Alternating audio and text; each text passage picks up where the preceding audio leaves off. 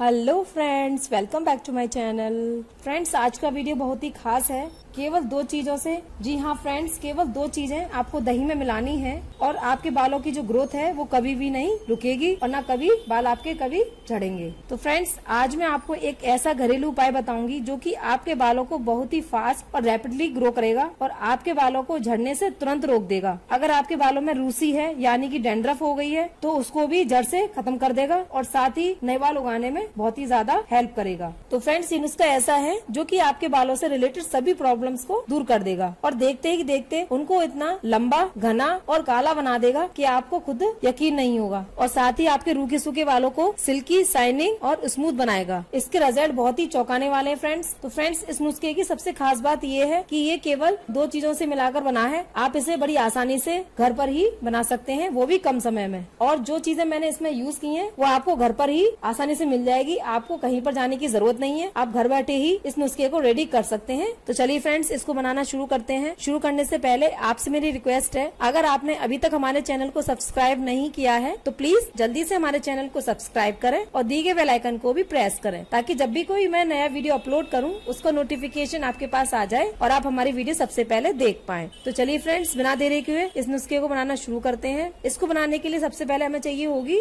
मेथी दाना, यानी की फेनोग्रिड सीड्स आपको इस तरीके से फेनुग्रेट सीड्स आपको लेनी है। तो फ्रेंड्स आप देख सकते हैं वीडियो में मेथी दाना हमारे बालों के लिए बहुत ही ज़्यादा उपयोगी होता है। इसके गुणकारी जो तत्व होते हैं, वो हमारे बालों के लिए बहुत ही ज़्यादा कारागार साबित होते हैं, जो कि हमारे बालों की जो प्रॉब्लम्स होती हैं, उनको रिमूव करने में काफ़ी हेल्प करते हैं। फेनिग्रू सीड्स यानी कि मेथी के अंदर, ऐसे बहुत सारे प्रोटीन और विटामिन होते हैं, जिनसे पतले और छोटे बाल जल्दी लंबे और घने हो जाते हैं। और साथ ही ये गंजेपन की जो शिकायत होती है, उसको भी दूर करते हैं और नए बाल उगाने में हमारी हेल्प करते हैं। मेथी दाना जो है, एक नेचुरल इंग्रेडिएंट्स है, जिसका कोई भी साइड इफ़ेक्ट नहीं है। ये हमारे बालों पर एक मैजिक की तरह वर्क करता है। पुराने टाइम में भी लोग इसका बहुत यूज़ करते थे और इसका फ़ायदा भी उठाते थे। तो फ्रेंड सबसे पहले इस मेथी दानों को आपको एक चूरण सा बना लेना है। वो आप इसको किसी ग्रिंडर की हेल्प से इसे पीस लेना है। यहाँ पर मैं अभी चार चम्मच मेथी दाना यूज़ करूँगी, आप देख सकते हैं वीडियो में, और इसका हम बारीक चूरण बना लेंगे।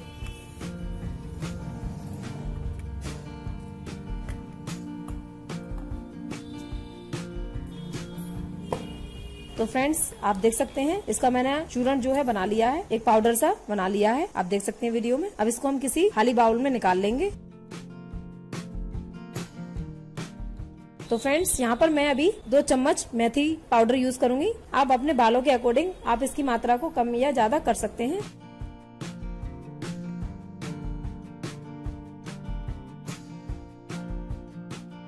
तो फ्रेंड्स अब इसके बाद में हमें लेना है कर्ड यानी कि दही। फ्रेंड्स दही के अंदर ऐसे विटामिन और मिनरल्स होते हैं जो कि हमारे बालों को सिल्की और शाइनिंग बनाते हैं। साथ ही उनको घने और मज़बूत भी बनाते हैं। दही भी हमारे बालों के लिए बहुत ही ज़्यादा उपयोगी होता है। इसका भी काफ़ी पुराने टाइम से यूज़ होता चला आ रहा है। पहले के लोग दही या छाछ से ही अपने सिर को वॉश करते थे और इसी का ज़्यादातर यूज़ करते थे। दही जो है आपके बालों का झड़ना बंद कर देता है और साथ ही नए बाल उगाने में हेल्प करता है और उनको लंबा, घना और काला भी बनाता है। और साथ ही आपके बाल जो रूखे सूखे हो जाते हैं उनको भी सिल्की और शाइनिंग बनाता है। तो फ्रेंड्स, यहाँ पर आपको तीन से चार चम्मच दही ले लेना है। आप देख सकते हैं वीडियो में।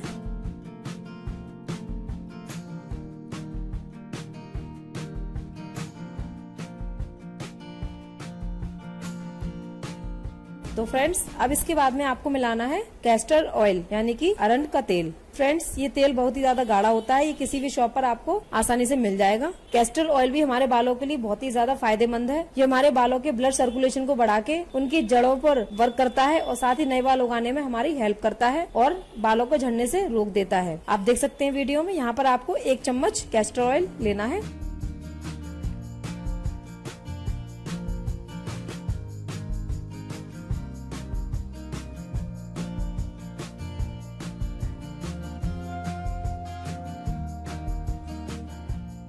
अब इन सभी चीज़ों को आपस में अच्छे से मिक्स कर लीजिए, ताकि सारी चीज़ें आपस में अच्छे से मिल जाएँ। हमें इसका एक थिक पेस्ट बना लेना है, ताकि हमारे बालों पर अच्छे से लग जाए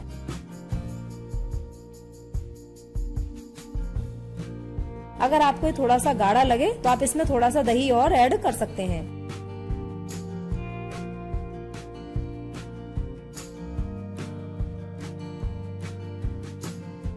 आप देख सकते हैं, ये मैंने अब अच्छे से मिक्स कर लिया है। अब मैं आपको बताती हूँ, आपको ये किस तरीके से अप्लाई करना है। तो फ्रेंड्स आपको अपनी फिंगर की हेल्प से, अपनी स्केल पर, यानी कि अपने बालों की जड़ों पर अच्छे से लगा लेना है। इस तरीके से आपको अपने पूरे बालों पर अच्छे से लगा लेना है। मैं यहाँ पे आपको लगा के दिखा रही हूँ। आप देख सकते हैं वीडियो में।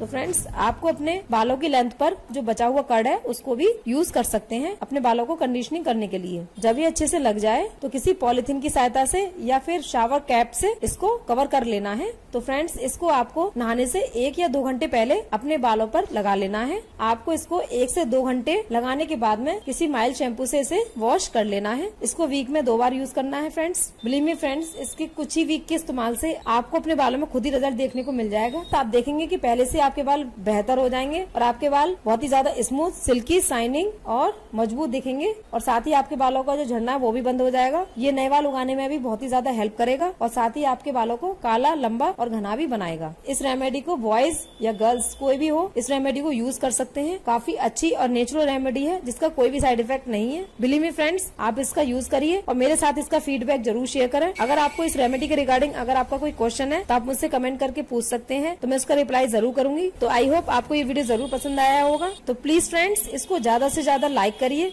और ज़्यादा से ज़्यादा शेयर करिए अपने फ्रेंड्स और फैमिली और रिलेटिव के साथ, ताकि वो लोग भी इस रेमेडी का फ़ायदा उठा सकें। और साथ ही हमारे चैनल को सब्सक्राइब करना ना भूलें, क्योंकि फ्रेंड्स मैं आपके लिए ऐसे ही घरेलू रेमेडीज लाती रहूँगी, जिसका आप बेनिफिट उठा सकते हैं। अब मैं मिलूँगी आपसे अपने नेक्स्ट वीडियो में एक ऐसी ही नई रेमेडी के साथ। तब तक के लिए bye bye take care have nice day